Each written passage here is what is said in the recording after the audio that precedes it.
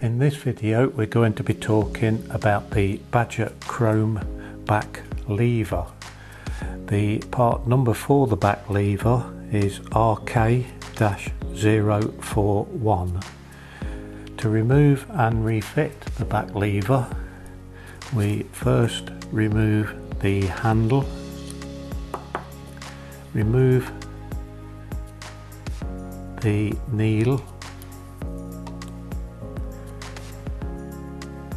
remove the trigger. We can then pull the spring housing for the needle back to allow the needle the back lever to come out. And this is the back lever. To refit it we just reverse what we've done. Pull the housing back for the needle the back lever in.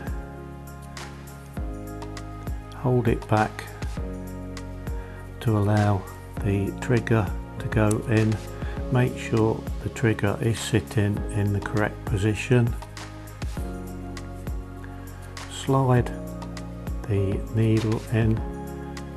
And as always no effort. Once it stops that's as much pressure as needed. Lock it into place. Refit the handle. And that is the back lever removed and refitted for the Badger Krome airbrush.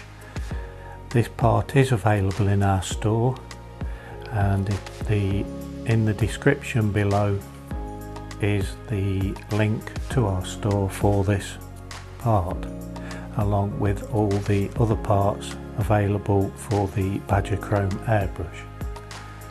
If you find our videos helpful and informative please give it a thumbs up and subscribe to the channel so you don't miss future content.